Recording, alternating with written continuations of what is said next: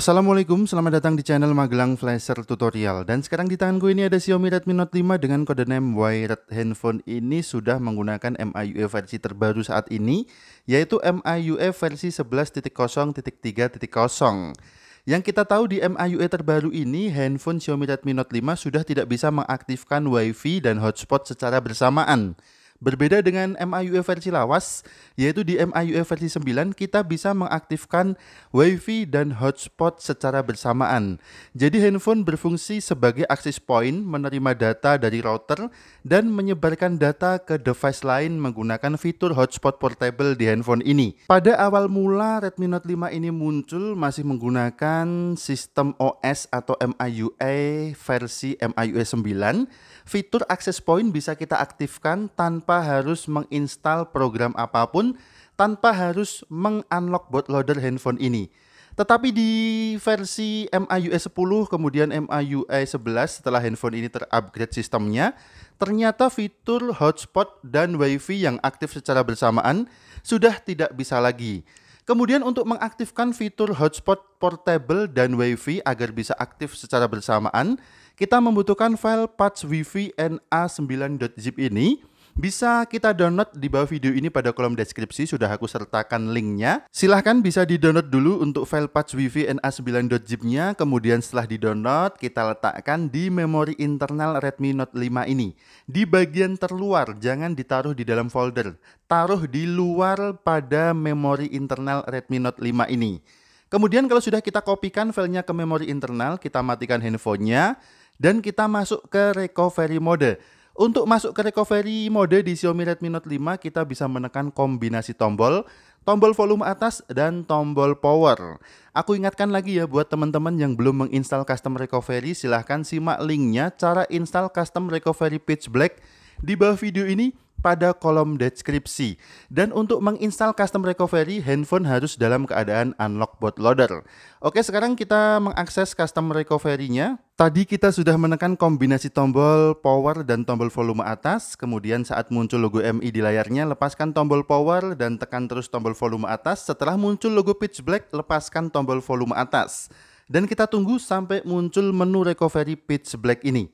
Kita tunggu sebentar, kemudian setelah muncul menu-menu di Recovery Pitch Black ini, kita pilih menu install yang paling atas, kemudian kita cari file patch wifi na9.zip yang sudah kita kopikan ke memori internal sebelumnya. Ini dia filenya, patch wifi na9.zip. Untuk menginstal file ini cukup kita klik aja filenya, kemudian ada opsi install di bagian bawah layar handphone ini. Kita coba ya, klik filenya, Kemudian di bagian bawah layarnya ada menu sweep to confirm flash. Tinggal kita geser ke kanan aja, kemudian ada proses instalan yang berjalan.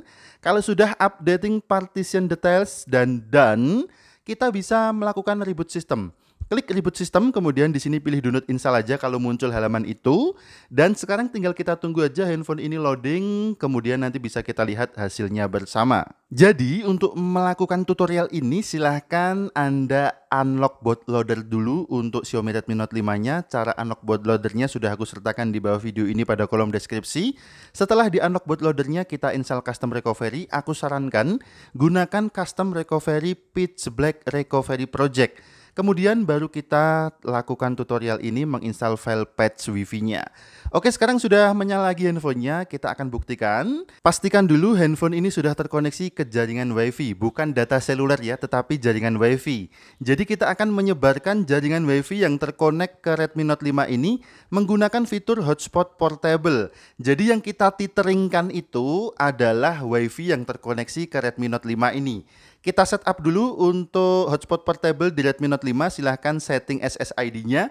Bisa juga kita setel password. Kemudian kalau sudah kita setting hotspot portable-nya, kita aktifkan fitur hotspot di Redmi Note 5-nya via notifikasi. Tinggal kita klik aja untuk menu hotspot-nya. Perhatikan, sudah dual on sekarang, hotspot-nya on, kemudian wifi-nya juga on.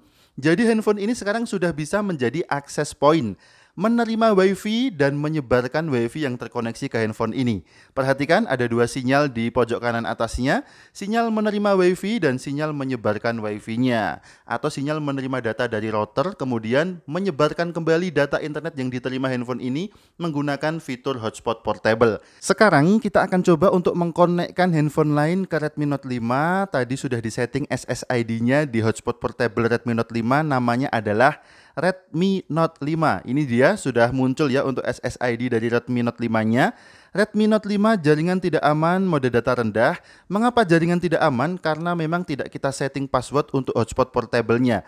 Tadi kita setting tanpa keamanan. Silahkan untuk yang mau setting password juga bisa. Sementara ini kita coba dulu tanpa password. Kemudian setelah terkoneksi kita coba untuk browsing ke iPhone ini yang aku pegang di tangan kananku ini. Sudah terkoneksi ke SSID Redmi Note 5. Jadi Redmi Note 5 ini berfungsi sebagai akses point, menerima hotspot kemudian menyebarkan lagi atau menerima WiFi kemudian menyebarkan lagi sinyal WiFi-nya menggunakan fitur hotspot portable. Kita coba akses ke blok Magelang Flasher. Oh, tampaknya belum terkoneksi ini. Kita tunggu sebentar. Untuk sinyalnya masih di data seluler ya, ada sinyal 3G. Oke, sekarang sudah muncul, perhatikan ada sinyal terkoneksi tethering ke hotspot lain untuk iPhone sinyalnya seperti itu. Berarti sudah terkoneksi. Kita coba untuk buka browser Chrome lagi. Sekarang sudah bisa mengakses blog Magelang Flasher yang kita buka tadi, kemudian kita coba akses ke YouTube ternyata aman ya koneksinya kenceng jadi perbandingan koneksi di Redmi Note 5 ketika menerima WiFi kemudian di handphone lain ketika tersambung ke Redmi Note 5 perbandingan koneksinya sama satu banding satu di sini tidak ada perbedaan koneksi karena memang yang disebarkan dari Redmi Note 5 tersebut adalah WiFi yang terkoneksi ke handphone Redmi Note 5 bukan data selulernya.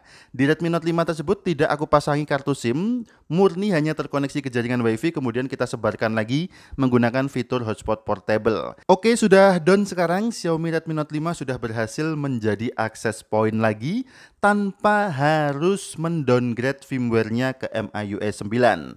Xiaomi Redmi Note 5 sudah berhasil menerima WiFi dan menyebarkan WiFi yang dia terima lagi. Oke, terima kasih sudah menyimak video ini. Mudah-mudahan bermanfaat dan memberikan informasi. Sampai jumpa di video selanjutnya dan wassalamualaikum. Tentu saja mantap jiwa.